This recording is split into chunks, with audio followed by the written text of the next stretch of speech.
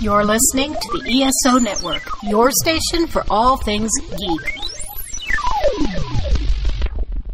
Hey there, welcome to episode 305 of the Soul Forge podcast. Welcome to the Soul Forge, a place of silent mystery, quiet contemplation, and outright mayhem. Join your host, Shawn Vanderloo, as he guides you through the adventures of living. Together, we'll talk about life and love, sex and dating, joy and heartache, memories and loss, and so much more. Don't worry, it's not nearly as pretentious as it sounds. Get ready for life, the universe, and everything on the Soul Forge. Hey everybody, it's Shawn back at you with another exciting episode of the Soul Forge. And with me, like usual, is Leah. Hi. And today we have making his podcast debut. Hi, my name is Wyatt. And how do we know Wyatt? Wyatt's my son. Ah, very good. Very good. How do you feel about making your podcast debut?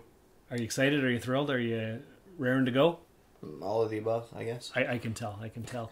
Okay, so this week we're going to be talking about Five Nights at Freddy's. We're going to talk about the uh, the game franchise, and then after a bit of a break, we're gonna go see the film and then come back with our immediate reactions. But before we get into all that, Leah, Yeah. what have we been up to lately? Cooking. We've been doing a lot of cooking. We certainly Um, have. I love it when I get to make something that my family really enjoys and maybe something that I've seen before. Um, as Wyatt knows, I've been doing this for a long time where I find a recipe and I sort of make my family the guinea pig uh, as to whether or not it's good. And then if it is good, I, I sort of hang on to the recipe and make it over and over again, sort of make it part of our regular routine. Um, if the family doesn't like it, then I kind of just lose the recipe and try something else. So we tried something in Disneyland, Disney World, Disney D- World. Disney World, and it was good and it was expensive, and we thought we could replicate it here, so we tried it. Yeah. And how did that turn out? So the listeners might remember we went live when we were there, and we actually tried this particular snack live on the uh, on the Soul Forge page, and uh, they were cheeseburger spring rolls. It's a little cart just outside of Adventureland in Magic Kingdom. You can get two of them for I think it what was like 10 bucks or something. Yeah, it was it was quite expensive. Um, but we were managed we we did manage to replicate them uh, in our own kitchen, and it was really fun. You and I cooked them together. We did. We followed the recipe. We tweaked it a little bit. I think they were better than what we had at the park. I, I would have to agree. I think uh, they did lack a little bit more cheese, so we were actually thinking maybe adding more cheese to the recipe, or maybe a more harsher cheese, or maybe even some queso on the side for dipping. That would be good. Yeah. That would be good because it was our first time making it. Yeah, but it turned out great. It turned out fantastic. And even the leftovers, actually, when you cook them the next day, you know, reheated, um, I didn't find that it was that bad after a day or two either. So No, no. And Wyatt, you had some. Yeah. Oh, yeah. What did you think of it? They were good, yeah. So that's a seal of approval right there. it didn't take us very long either, really. It wasn't a lengthy process to make them. No, not at all. Nope. Just followed the recipe and deep fried them on the stove, and Mm-hmm. it was it was good. Yeah, it was good. I imagine you can make them in an air fryer as well, but Oh, I bet you we followed the recipe, filled up our cast iron pan uh, with oil and just deep fried them that way and it was it was delicious. And they tasted like more. Yes, they sure did. They definitely did. They had a really nice crunch to them. Yes. That usually ends up going away the next day with leftovers, True. but I still found that I had that not as much obviously, but I still got that crunch the next day, which Oh yeah, was awesome. yeah, they're still good. Yep, definitely. So we'll definitely make them again and probably add more cheese. Mm-hmm. And in other news, we've been continuing on with our uh, BritBox watching, and uh, we're watching Yes. more Keeping Up Appearances. Yes. Uh, we're, we watched four episodes of Blake's 7 Mm-hmm. which uh, my good buddy Paul from uh, my other podcasts, uh, Epsilon Three and Cosmic Pizza, said, "Oh yeah, it's a really good show." And I talked to him yesterday, and he said. Uh, well, I hadn't watched it since the 70s. And I'm like, oh, okay. It's very cheesy. It's very cheesy. It's not good. No. It, it's entertaining sure. in a retro sci-fi from the 70s kind of way. Definitely. Very British. yes. And you could tell they didn't have a lot of budget. Yeah, you can very much so tell that. Yeah. and it's not something that you can binge because it's not easy to watch. No, it's really not. And you can tell it's an older show, you know, with all the special, quote unquote, special effects That's and right. that type of thing. They weren't very special. no. No. And uh, in other news, uh, on the Hot Wheels front, I, I did manage to get most of the things that I need. I got the paint stripper. Yes. Uh, it, it took about 48 hours for the, the stripper to work, okay. and I probably could have done it in 24, but uh, I, I still need to get pliers and uh, I need to get a, a rotary tool with the metal polisher before I paint or anything. Okay. Um, the, the, the main thing was drilling out the rivets, mm-hmm. and I screwed up two cars Oh, that I oh. Mm-hmm. didn't care about uh, just to give it a try and practice it out. Right. And on the third car, I figured it out finally. So Good. uh, that's as far as I've gotten so far. Excellent. But Okay. what the listeners really want to know is what is this Five Nights at Freddy's stuff? Now, you guys have been obsessed with this since I came around the last five or six months. Yeah. And you've been watching YouTube videos about it and all kinds of stuff, which reminds me of my obsession with uh, Star Trek movies when they were coming out. Yeah. Uh, so tell me about Five Nights at Freddy's.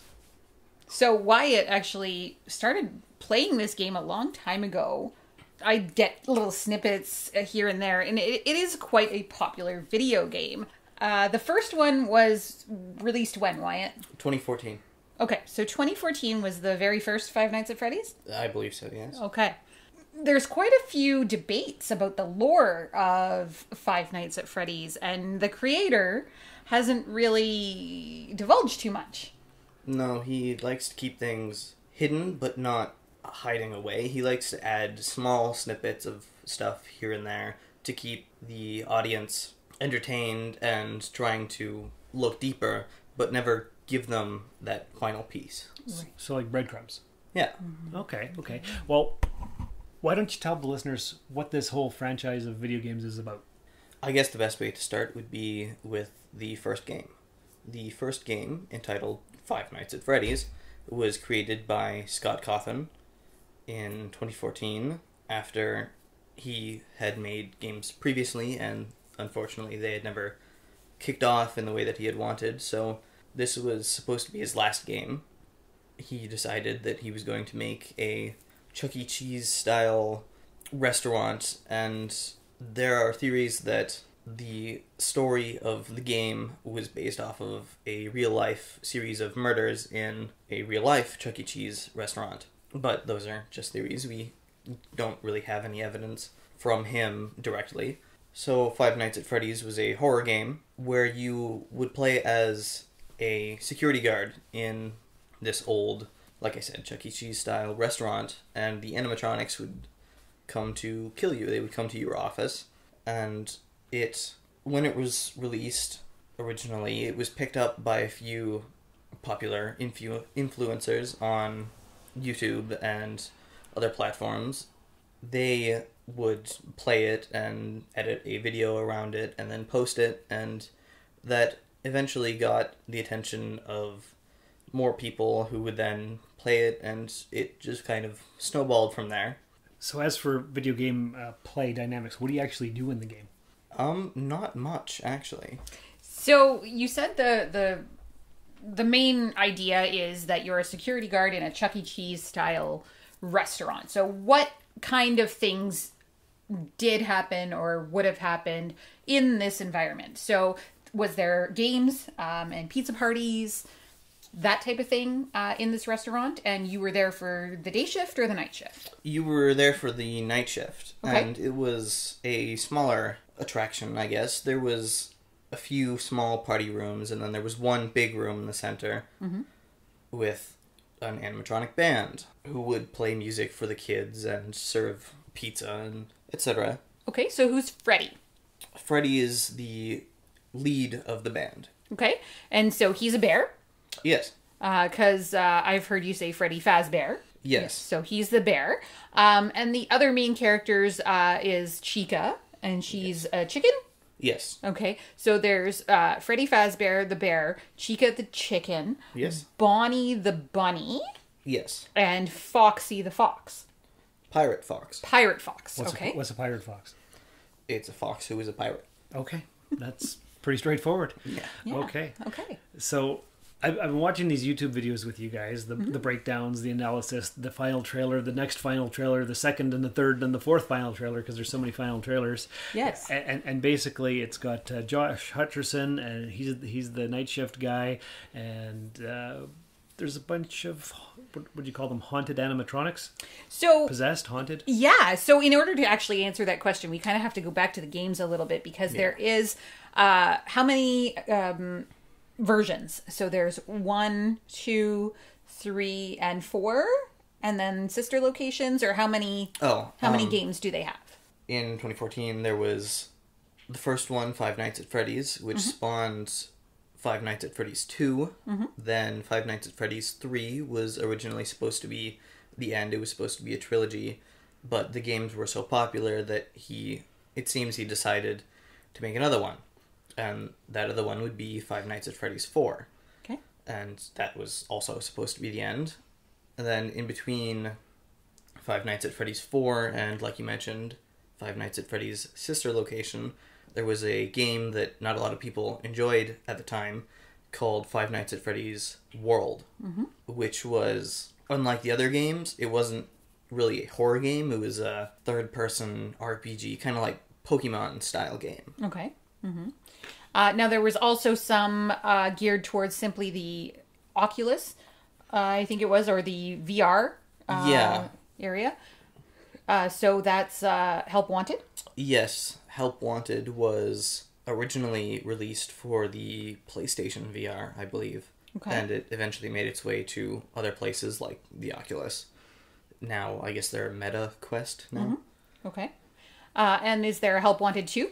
Uh, Help Wanted 2 is coming out Okay. soon, actually. Coming out soon. Okay. And then there's also Security Breach Yes. and Ruin. Yeah, Ruin isn't really its own game. It's DLC downloadable content for Security Breach. So I guess the whole list of the games would be one, two, three, four, World, Sister Location. Then there was six, which had an alternate title, uh, Pizzeria Simulator. There was um, some offshoot games. I think one of them was uh, Fury's Rage, and there was uh, Freddy in Space, which eventually got a Freddy in Space 2 not too long ago. And the big newest one was Security Breach, which showed or had Scott kind of take a bit of a backseat from being the lead, and he let this company who he's passing the franchise over to, uh, Steel Wool Studios, do a bit more with. Like I said, Security Breach is the newest one, but Ruin was kind of the main topic for a little while recently because Ruin had come out not too long ago. It followed uh, a new character in the same setting. Okay. Um, and you know, we want to talk a little bit about lore. So, what's the the movie and sort of the video games? From what I can gather, is based on uh, one, two, and three. I would disagree with you there. I would say it's more one specifically. Okay. Because you were saying they're going to make a trilogy of these movies. Yeah, it's rumored. I think the evidence that people have for that is um, what's his name? He played Shaggy. Matthew Lillard. Matthew Lillard. That's it. Yeah. He said that he was signed on for three movies in this franchise, which you know the other two may never see the light of day, depending on how well this movie does and other Right. s- Sta- situations. standard contract. Right. Three Yeah. picture deal. Yeah. Whether it happens or not. Right. So, uh, so Matthew Lillard is rumored to play Steve Raglan or William Afton. We're not really sure yet. Um, so, where the sort of the general idea of Five Nights at Freddy's comes in is that these four animatronics that we named earlier Freddy, Chica, Bonnie, and Foxy why are they coming to life? So, what is the the sort of the backstory? What is the deal? Yeah. in Five Nights at Freddy's 1, there are hidden Easter eggs that tell a story about a murder that happened at this restaurant in, mm-hmm. involving five kids. We see through mini games within Five Nights at Freddy's 1 and 2, and even a little bit in 3, that someone who had was a higher up in this company named William Afton. He was also called the Purple Guy on the internet for a while because he was depicted as being purple with a security badge. He was the suspect in a murder for these five kids, and there were rumors that the kids' bodies were never found. And so it is kind of leaning you in the direction of the kids' bodies were put into these metal suits for the animatronics. So it's believed that the kids' souls, in some way, have possessed the animatronics or perhaps the endoskeleton inside. And so their goal is to kill everyone, or Not entirely. The thing is that if you look at it through the lens of the lore, have, knowing more than just what we knew at the time of the first game, it's believed that the character we play as in Five Nights at Freddy's 1 is Michael Afton, the son of William Afton, who shares a wild resemblance to his father. And so the animatronics, uh, or the souls inside, whether or not you want to look at it, either way, see you and they believe that you are William, your father, and so they wish to take revenge. okay, and they see sort of like every adult this way. Do they go after children? No, it's explicitly not in the first game, but in the second game, it's explicitly said that the animatronics are completely fine around kids, but they kind of give a death glare or side eye to adults. So, are we excited about this movie? Yes, obviously. Mm-hmm. You, you've, Yeah. been, you've been anticipating it. Oh yes. What are you expecting from it? Are you expecting to be blown away or disappointed, or uh, what? What's what's your thought? Well, being with Blumhouse and knowing their reputation for movies and how well they can work with even a smaller budget compared to other studios, I have hope that it will be made well. And I'm aware, or at least I've been made aware, that Scott in some way has been an influence on the direction of the movie more than other people probably would have been had this been their game franchise. And so I think that the studio is competent enough to make a good quality movie with Scott's help to make it true to the franchise in a way that is both satisfying for people like myself and my mother who know a significant amount about the games and the story that it's trying to tell, as well as people like Shawn who know little to nothing. Mm-hmm. Okay, so what I'm thinking is uh, we're going to play a promo for another podcast right here on the ESO network. And when we come back, we'll have our reaction to the movie. But first, in real life, we're going to go eat and then go to the movie and see it. Yes, but definitely. the listeners will just hear this promo. Okay. And then our reactions right after this. Very exciting. People keep asking, are we back? Yeah, I guess we're back. Back to talk about cigars, movies, TV shows, and any other nerdy topics here on the Cigar Nerds Podcast. Check us out on cigarnerdpodcast.com and esonetwork.com. And we have a YouTube channel at Cigar Nerd Podcast where we do cigar reviews, live versions of the show, and any other dumb thing we think to record. All right, and we're back. We just got home from the movies. What did you guys think? Well, first of all, I would like to know what you think as as the person who knows the least amount of the history and everything and has not watched a whole lot. And then I think I should go because I know la- I know a little bit more than you, but not as much as Wyatt. And then let's go to him. All right, sounds good. Okay. Uh, I enjoyed it. It, uh, it it went. It was almost a two-hour movie, but it went by really fast. Uh huh. I recognized a lot of scenes from the YouTube clips and all the uh, trailers, but it it it, uh, it filled in all the details of what exactly the timeline was of everything because that was never clear from what I had seen up until now. Right. Uh, so that was good. The acting was good. Um, the the audience in the theater was uh, it was packed, and people cheered and they clapped, and it was like a genuine movie going experience. Most times when you're at the theater, that doesn't happen, but this this was a full interactive experience, and uh, for not knowing anything about it, I say I enjoyed it. Good. I, I'm happy to hear that. For me, as somebody who sort of experienced it, um, you know, outside of my son's eyes, who you know is very much so interested in the the game, he played it a lot, that type of thing. I I thoroughly enjoyed it as well. I found the experience good, even though the chairs are very very uncomfortable Yes. in our theater. Um, but that's not the movie's fault. That's the theater's fault. The jump scares got you because I kept feeling you jump in your seat. Yeah, some of the jump scares were actually really good. I didn't find that we had as many jump scares as I expected, considering the games and what I know about them. But at the same time, I I thoroughly did enjoy them. Uh, there was a little bit of cheese, you know, with the uh, with the cupcake, and and he kind of attacks people. It's it, but it was a fun cheesiness. It was uh, it was definitely enjoyable. Um, the characters are very relatable. It was definitely not what I expected, but at the same time, I enjoyed it.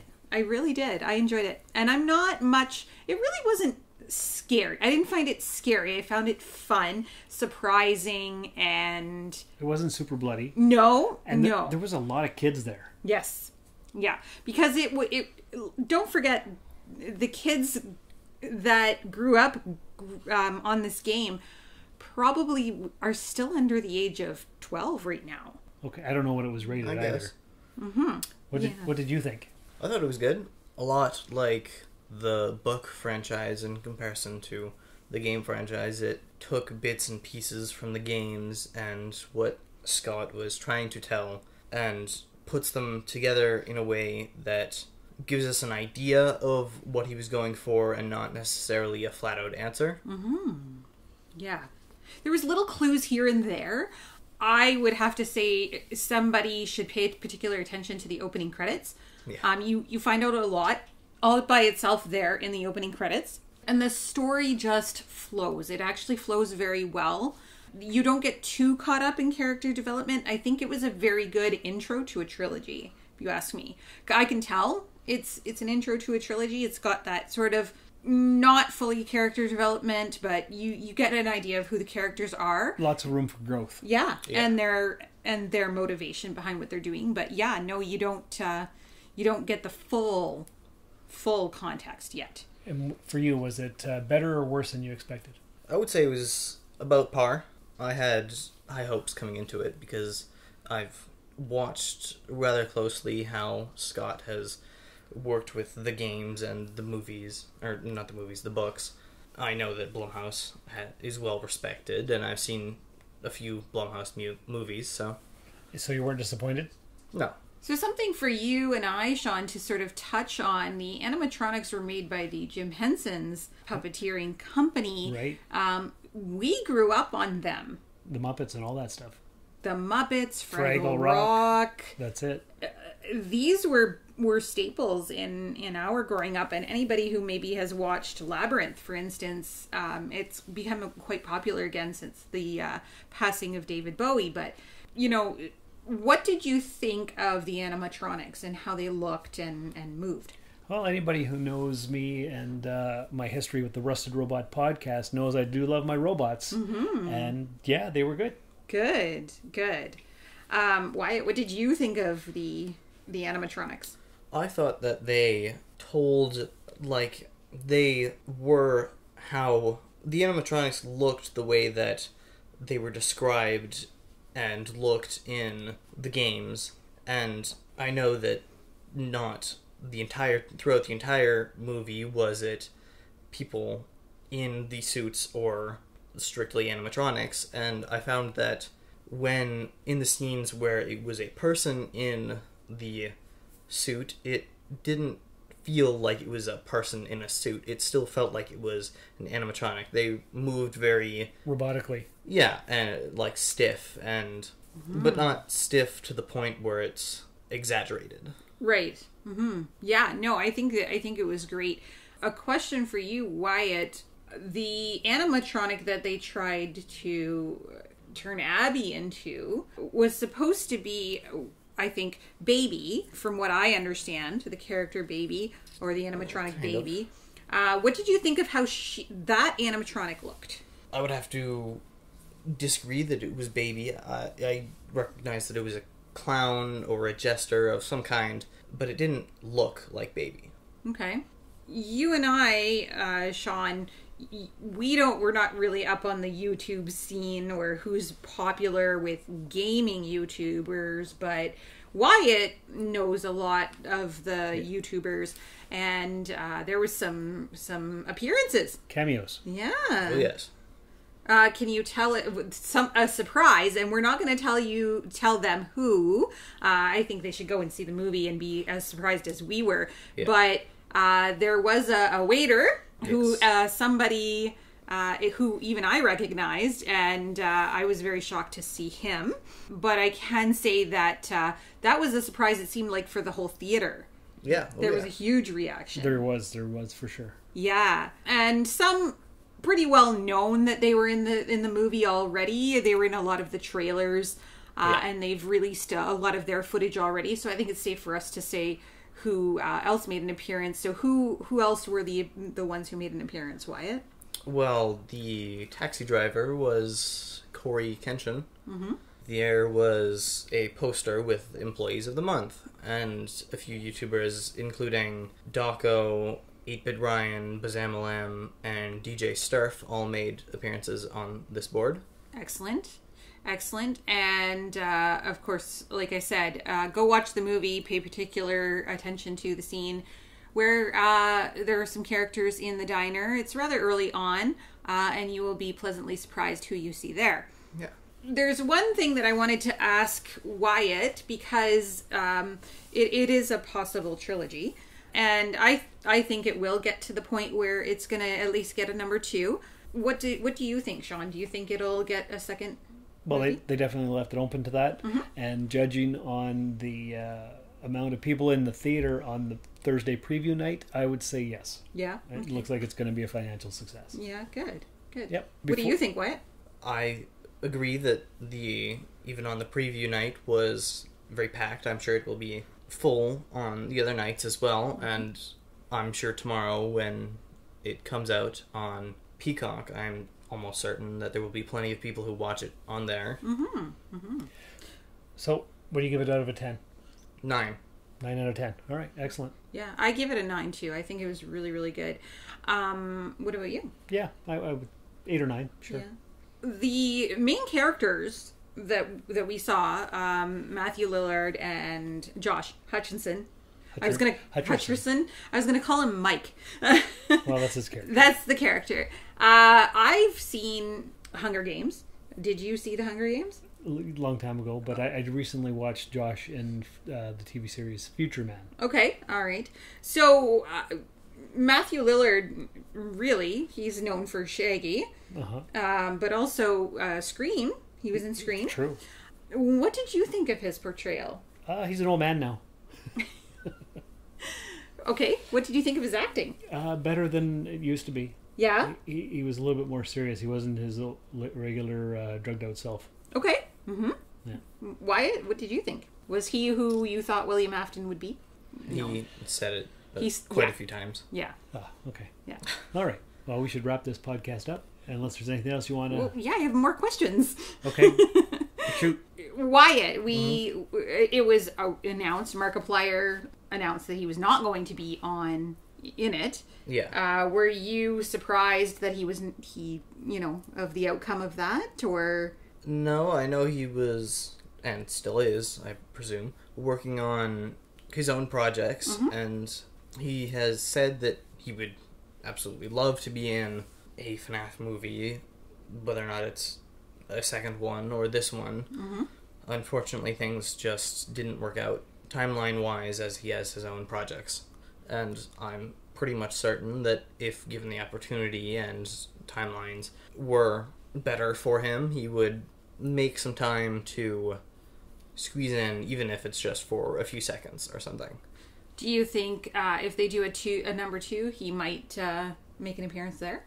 Uh, if he's not busy doing something else that he can't sneak away from for a little while. Okay. What did you? Th- so at the end of the, the of the movie, you uh, were talking to me about the first game Yeah. without sort of spoiling um, the ending, or somewhat close to the ending of the movie, uh, there was a scene uh, where you noticed something and you think it's going to explain the kitchen scene. Excuse me, yes. In the movie, there's a certain thing that happens, and this thing happens in the kitchen to a certain degree. In the first game, there's one camera that doesn't work. When you go to that camera, you can hear audio, but you just see like static, TV static. Mm-hmm. And I was seeing this thing happen in the kitchen, made me think, I wonder if this is Scott or Steel Wool Studios, but I imagine Scott. I don't think Steel Wool actually had any part in the movie. Scott trying to tell the audience, the fans, because he is very good at talking to the fans. Maybe not directly, but with hints and stuff like that. Mm-hmm. So I wonder if Scott was trying to hint that this thing that we saw happen in the kitchen in the movie is what is taking place or what has taken place in the kitchen in the game, or whether or not they just had it happen there because the place that this thing happened doesn't really matter. Interesting. So, uh, any listeners out there who has an idea of what Wyatt is talking about, maybe they could email the Soul Forge podcast or ask a question on our Facebook page. Yeah, that's right. Or comment. Soulforge Podcast at gmail.com. Absolutely. Or comment. That's right. Mm-hmm. Yes, exactly. Looking forward to all your responses. Yeah. Um, so all in all, a from a sort of newbie perspective, you enjoyed the movie. Yes. Um, from a somewhat knowing Mid level. mid-level uh, about it, uh, I very much enjoyed it, and I am looking forward to the second one. And it seems our expert on the Five Nights franchise uh, approves as well. Good. Yeah, yes. Excellent. So, listeners, hope you enjoyed that uh, review of the Five Nights at Freddy's film. Uh, until next time, we'll. Uh, Say, can you survive Five Nights at Freddy's? that's the question, isn't it? Yeah. That's right. So, thanks again for listening, and don't forget to leave a five star review in the podcatcher of your choice. Thank you for listening to another episode of the Soul Forge Podcast. Your support is greatly appreciated, and we hope you'll tune in again next time. Remember that you can visit soulforgepodcast.com for all of our social media links, and don't forget to share the show with everyone you know. The Soul Forge Podcast is your best source for living your best life. Think about it. This has been a broadcast of the ESO Network. Be part of the crew and help support our shows by donating to our ESO Patreon or by shopping at the TeePublic store, which can all be found at www.esonetwork.com. The ESO Network, your station for all things geek.